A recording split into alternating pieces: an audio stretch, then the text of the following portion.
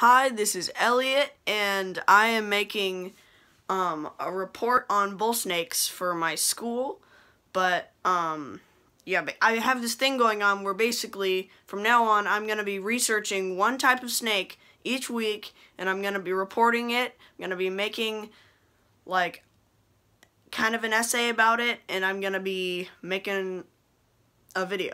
So, here we go. This is a ball python. This isn't really a bull snake. I'm just using this as, as an example. But um, it's going to be about like their cage. It's going to be about bull snakes cage setup.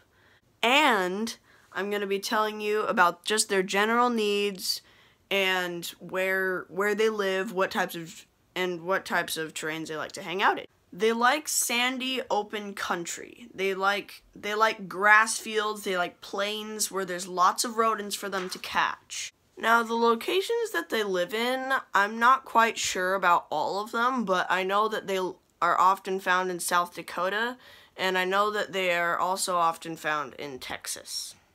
Now the environment, I'm not entirely sure, but I all I know is that they like places where it rains a lot and where they can burrow underground.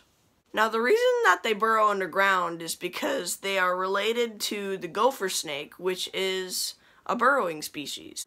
Generally, bull snakes will eat rodents, but they are known to eat birds and lizards, and occasionally rattlesnakes. And remember, these are these are constrictors, so they squeeze their prey and swallow them whole. Now these guys are just extremely beautiful and are said to get up to 8 feet long. They're often mistaken for rattle for diamondback rattlesnakes because of the patterns on their back and because of the sound they make when they're scared. They make this loud hissing sound and they thrash their tail and it's really loud. And in case you're wondering, bull snakes, like most snakes, lay eggs. So here's my enclosure. Honestly, it works just perfect. Now most people should know that with snakes like this, you should you should not use a heat lamp.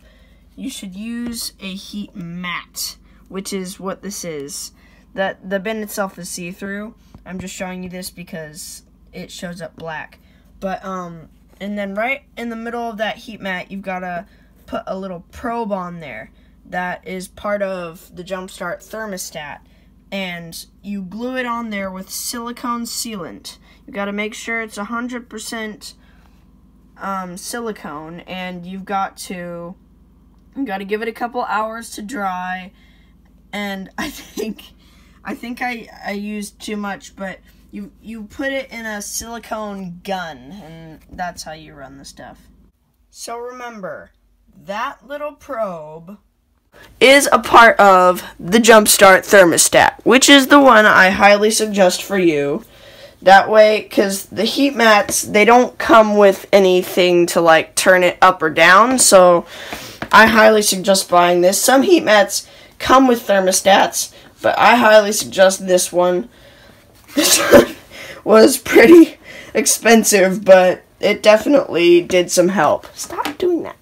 And, um, some people use log hides like this. I, I, I honestly just like the look of it, but you don't really need it. It doesn't really matter that much, but it's important that that the snake has choices of a cold side and a warm side. And a lot of people use humidity knobs in these things, but um I don't I don't suggest doing that. I what I suggest is using a humidity box which honestly for me works well. So I, I just got a cheap little box from the store, put some soaked soaked sphag moss in um, water and then put it in the box. And for the fibers, for the fibers, honestly, they're just cheap old aspen fibers. Like they work great. Um, cause some people use like paper towels or newspapers, but then you have to change the whole bedding every time it poops once. So but with this, you can just spot clean, boop, pick it up, toss it in the trash. And, um, yeah, my snake keeps trying to get out of here. Sorry. But then for the water dish, some people use an expensive looking one like this. But honestly, you you really don't have to do that. You can you can just get a little a little dish as long as it's like enough for the snake to actually soak its whole body in.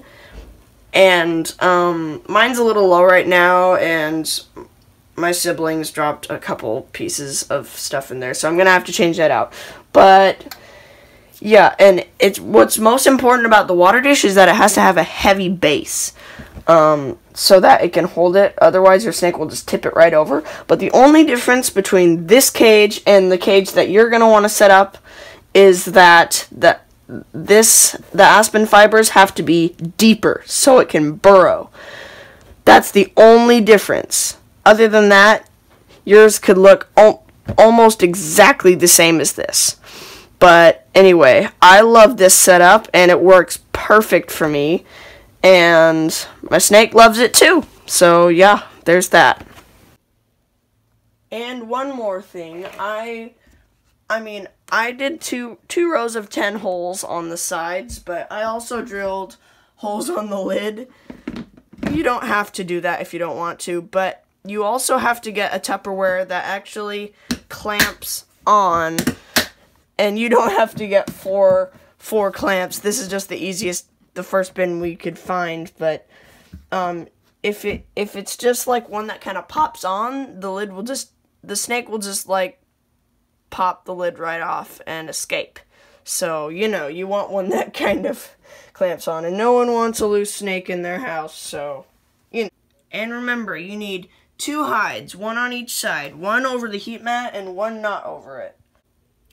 Now, about the size of the enclosure, honestly, they they say that you should that you should have a snake that stretches out along one side of the enclosure, but on and you shouldn't put a baby snake in a bin that's like super huge right away or it'll get stressed, but I talked to a breeder and what he, he told me that you actually can do that as long as you as long as you have little spots for it to curl up in and hide in. Um, and this was the that was the breeder who I got this little girl from. Well, that's about it for the enclosure. This works perfect for bull snakes. It also works perfect for ball pythons, works perfect for corn snakes. Like, it's remarkable how many snakes can fit in this exact same enclosure. And remember, the only difference that you have that is very important for a bull snake enclosure is that the bedding has to be deeper. Like, let's say three inches. Like three inches deep would probably do. Now the temperature that you should keep the heat mat, I, I keep mine around 90 degrees because that's just the average degrees. That's just the average amount of degrees that everyone uses for ball pythons, but I really suggest using around like 75 to 87 degrees. Every, I mean, from what I've heard, that's what works pretty well. And about the humidity box, if you realize, oh no, my snake isn't using its humidity box, just wait because after a while it will find out about it and some it sometimes it takes time for it to explore and I had the exact same thing where I was all scared like what if it never finds it? What if it can't shed because it doesn't know about its humidity box?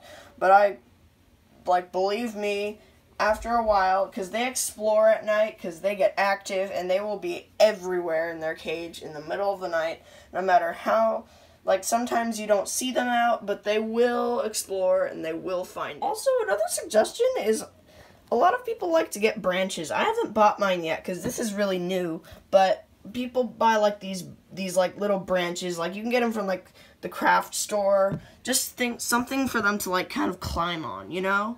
They really like that. Now, another thing I suggest is don't get a bull snake. I don't suggest getting a bull snake if you are a beginner. If you're if you're just starting out with snakes, then I would get a ball python. It's really easy to take care of and super sweet, super mellow, like I love it. And another thing with feeding, with feeding, you're gonna have to feed it mice. So a lot of people feed them frozen, some people feed them live. It doesn't really matter, but feeding them frozen is so much easier. They cost just as much, although the way to tell the size of the mouse is is you measure the fattest part of the snake and that's about the size you want to do. Um yeah, I'm right now I'm feeding mine pinkies, which are really tiny baby mouse. It's a little bit sad, but I need to get over that.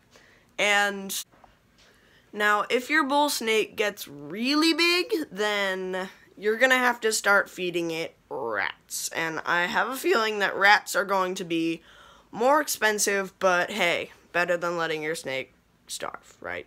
Now, when you purchase your snake, if it's if it's been eating live, but you're like, I don't want to feed this live. I want to feed it frozen. I don't want to raise mice. Uh, you at least have to buy one live mouse and let it eat just to get it eating. Get to get it eating is the most important part. After that, you can feed it frozen and it'll work just fine. But yeah, that's about everything I know about the bull snake. I hope you enjoyed this video.